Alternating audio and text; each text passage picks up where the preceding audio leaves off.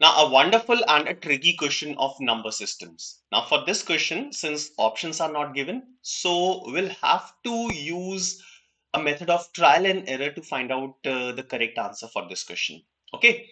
Now, question says that if 5046 factorial is completely divisible by n factorial multiplied by n factorial factorial so look at the second term in the denominator carefully, the factorial of n factorial. Okay. So uh, also n is given as a natural number, obviously because uh, they have used it in factorial. And we have to find out the maximum possible value of n such that this expression is true as in four, uh, 5046 factorial is completely divisible by n factorial multiplied by the factorial of n factorial. Okay. Now I'll try to estimate the value of n now 5046, let's look at this number uh, and we'll find out the value of n such that n factorial is equal to 5046 or very near to 5046. Okay, now we know that uh, 5 factorial is equal to 120, 120. 6 factorial is equal to 720. 7 factorial is equal to 5040 yes 5040 is near to 5046 so i'll assume the value of n as 7 to start with okay? So 5046 factorial when divided by n factorial that is 7 factorial which is uh, uh, 5040 i'll write it as 7 factorial and the factorial of 5040 that is 5040 factorial. So if i divide this so 5046 factorial and 5040 factorial, a lot of terms will get cancelled.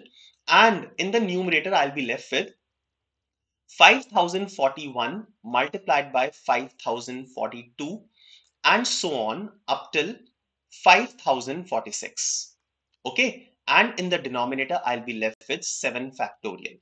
Okay? Now look at the numerator Starting from 5041 up till 5046, these are six terms and you will observe that none of these terms is divisible by 7.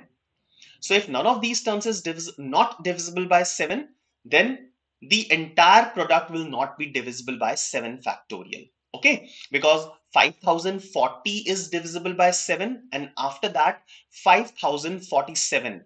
So 5040 and 5047 5047 these will be divisible by 7 and none of these terms in the middle of uh, in between 5040 and 5047 will be divisible by 7 so i can say that 7 will not be the possible value of n.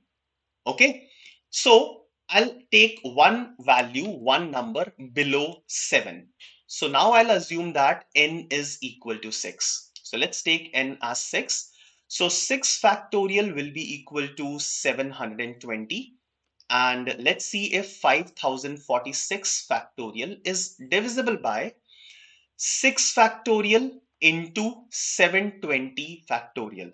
Now again we'll cancel out some terms among 5046 factorial and 720 factorial and a lot of terms will be left.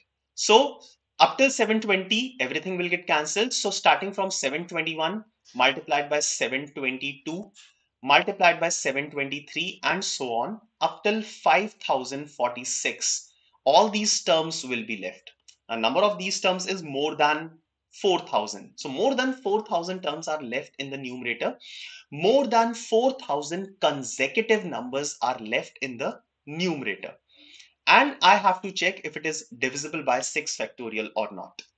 Now you can very well say that yes, the numerator here which is a product of more than 4000 terms 4000 consecutive terms will be definitely divisible by 6 factorial.